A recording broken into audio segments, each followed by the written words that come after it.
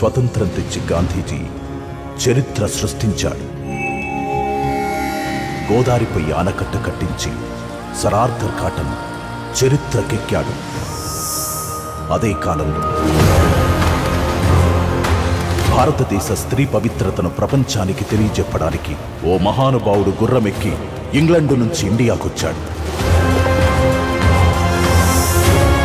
అతన్ని మర్చిపోయినందుకు చరిత్ర కన్నీళ్ళు పెట్టుకుంది.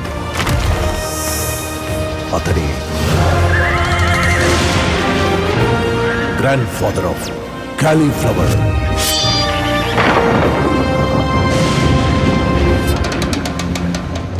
An unsung story of well-known men.